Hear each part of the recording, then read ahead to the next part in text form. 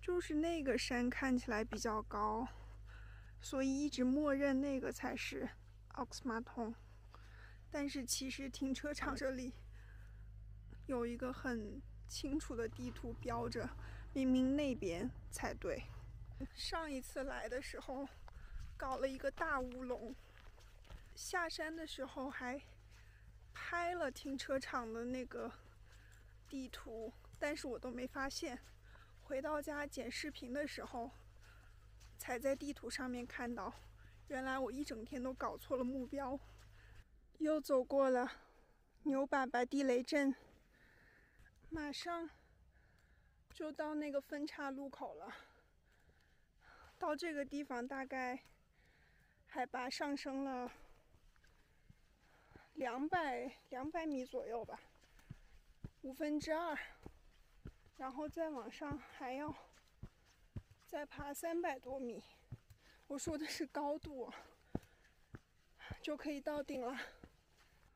又到了熟悉的分岔路口，朋友们一定要往左边这条路走啊！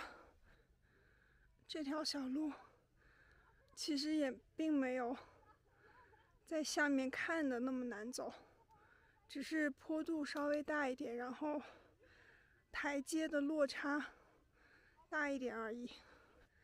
上一次应该直接走这条路就对了。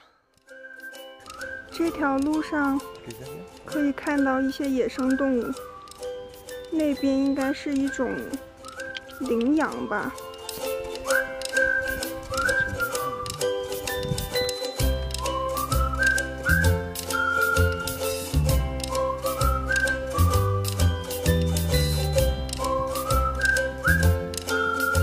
边山坡上有一只。这个好像是叫原羊，有一只趴在那里一直不动。看它头上的角，超级长。好吧，这条路也没有我刚才说的那么容易。如果带着老人孩子的话，肯定不能走这条路，还得一直往上爬到那儿。现在高度已经很高了，可以看到对面的山。上一次就是去那边那一块的湿地，发现了这个停车场。看他们在干嘛？这里有一片紫色的花，感觉好像海拔越高。那些花的颜色就会越深。我后面那对年轻的夫妻吧，应该是刚才他们是从我后面超车上去的，现在人家已经在回去的路上了，而且我才刚看到那个女生怀孕了。天哪，孕妇爬的比我都快。那个肚子看起来至少应该也有四五个月了，太厉害了，佩服！胜利在望了，应该再有个十分钟就到顶了。再翻过这个小山坡，那个就是奥克斯马通了。终于到顶了，这是第三次尝试成功。这里海拔是两千一百多米，可以看到整个布里恩茨湖。可惜太阳是从对面照过来的，要不然看得更清楚。上一次去的是那个山峰，那里是两千零几，不到两千一吧。如果没有看上一个视频的话，大家可以去看一下。现在准备下山了。下山之前找一个背风的地方，把午饭解决了。今天带了一个豪华版三明治，加了两层。上一次来的时候，我在下面看到这一片草坪，有一家子羚羊吧，应该是。可惜离得挺远的，拍的不是很清楚。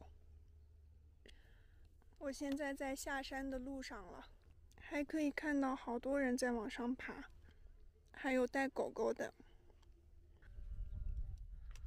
刚才这一段是最难的，有好几个台阶，差不多到我快到我的腰那么高了。看得好清楚啊，那边山上的人。那边的牛全部都堵在路上。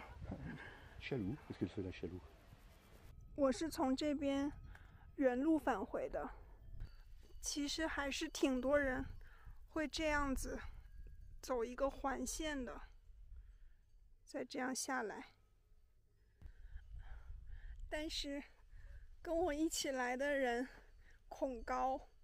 所以上面那条路比较窄，就两边都很深嘛，还是蛮开心的，因为一直想去阿克斯马通，今天终于去了。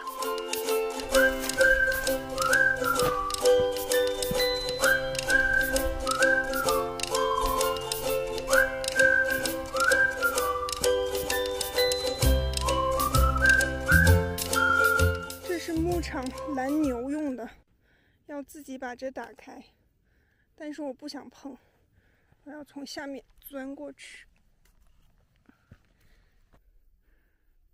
这里有两片像沼泽地一样，得从旁边绕过去。回到停车场了，用了往返用了将近五个小时。五个小时不到的时间，包括吃饭啊、休息，然后还有各种拍照的时间。几天后，你们看，即便是从正面看，也是那个山看起来稍微高一点吧。不过其实，在上面景色都差不多了，只是为了说自己打卡了奥克斯马通。